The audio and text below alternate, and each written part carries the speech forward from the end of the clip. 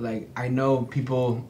I know this is probably like what everybody would say not to do, but quality and camera, what camera you're using, really, even though it's to get the top tier camera as quick as possible will get you where you want to be a lot faster. Mm, okay, Like, okay. And I think nobody will ever say that because everybody's always like, "Oh, it's not about the camera, it's I how was you about to say. it." Yeah, that's everybody, right? yeah, yeah, yeah. I'm I'm completely different when it comes to the business side. Yeah, yeah. You know what I mean? Not like, of course, like picture style, everything. You know, every camera's different. Yeah, yeah. But if you want to get where you want to get in this industry, get you the camera that's gonna put you in that place. true, true, true. You know what I mean? It's like get, it's like you getting that suit in that car to get that you know that you job. You get one time to make an impression, right? Yeah. Yeah, that, that makes sense.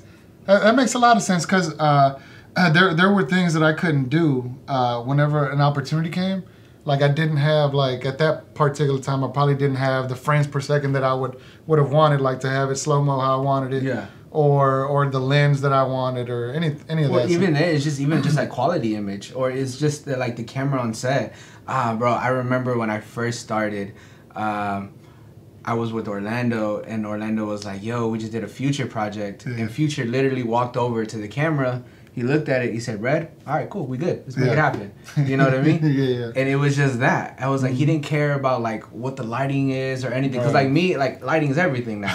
you know what I mean? We can use any type of camera, but if the lighting is good, oh, you're gonna have a hell of a video. Yeah, yeah. But at that time, or even at this time, it's all about cameras. And Facts. like you know, most most of these guys don't even know that because they're not on these projects. Facts, facts, But when you are on these projects, the first thing most artists and most managers do is like the first question you get, bro, is never like how much you charge. Is Yeah, yeah, what camera. what kind of camera you yeah, yeah. right. So Mhm. that's always that. Then it's like, all right, cool. You're using a camera they don't even know. It's like you're trying to justify like, oh yeah, but it does this and it does that. You know, the quality's good. Show, let me show you my reel. And they're just like. That's cool, but you can you get this camera? Yeah, and bro. they're just like, oh yeah, I can, but it's gonna cost this much. They're like, well, okay, can we make that happen? You yeah, know- you bro, know what I I've, mean? I've experienced that. Yeah, I, I, we all have, and I experienced that a lot. And so it's just kind of, if you really want to beat that learning curve, is like get where you want to be is by having that camera. It sucks, but bro, like